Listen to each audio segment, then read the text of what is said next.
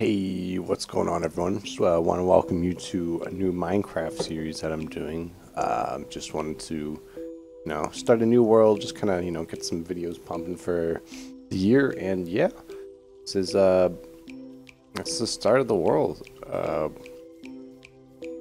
a good cave already, but uh, what I'm gonna basically do is I'm gonna, you know, punch some trees, uh, probably get some iron, copper, see that, and I will um, get back to when I get like iron armor, just to just cut out the beginning part, because I think the beginning part is a little boring sometimes. But uh, yeah, I will see you then.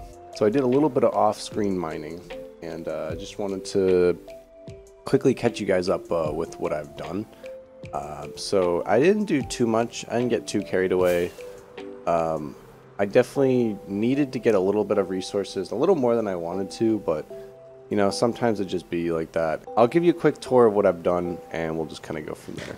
So first things first, uh, I, I, I really got a little carried away, I'll be honest, and this is where I'm, my villager farm, not villager farm, my villager, villager area, I'm going to make a little quick castle for Yeah, that that's kind of important just because I think it's always good to give the villagers a home. It's my little uh, lighthouse. This is the home, small little home I built just pretty much holds everything that I could need. Um, definitely, you know, it's not too fancy.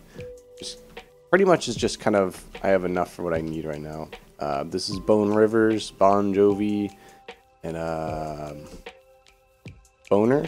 Uh, this is Gompy the Goat. Got a little farm set up here. Just kind of look good, make you look good. This is a item sorter that I haven't built anything for, which I'll definitely get to in the future. We have an iron farm. You can see some boys going in. A uh, bunch of trees. Oh, there's a slime farm down here. This is the bamboo powered super furnace that I made. Quick little, you know, sometimes you need a furnace or two, so you gotta quickly make a little furnace set up. Slime, because, you know, slimes are important early game. We got our, we got our auto, automatic villager farm going. Know, they're just pumping out carrots and stuff. Good for them. No, always good. We got a little farm over to our left with just all the animals. Uh, got a couple automatic farms. This is melon and pumpkin, sugar, wool. This is just general mob farm.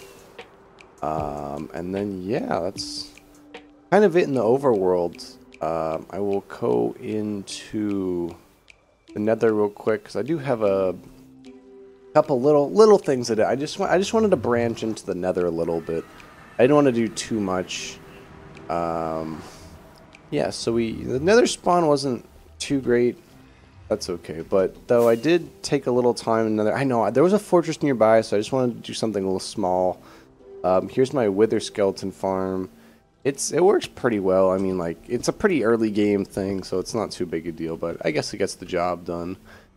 And if we go into this portal, I did do a little exploring off camera. Like, I did a little more than I wanted to. that's okay. Um, used to, found the end portal, and um, actually, I, I, I, went ahead and beat the end dragon. I didn't... It was a little quick thing that I wanted to do. Uh, it wasn't...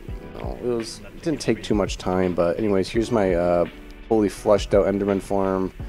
That's okay. That's pretty good. Uh, I also do have mending. I am good armor on everything pretty much, so that's okay.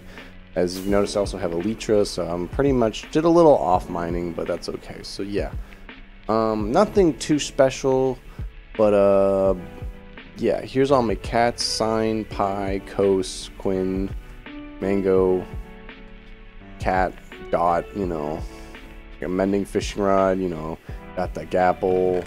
I mean, I only have, like, thing is, I've, like, kind of been slacking. I only got a little bit of diamonds. Like, I'll, I'll be, like, I do, there is work to be done, but it's like, it's, you know, at the end of the day, it's not the end of the world.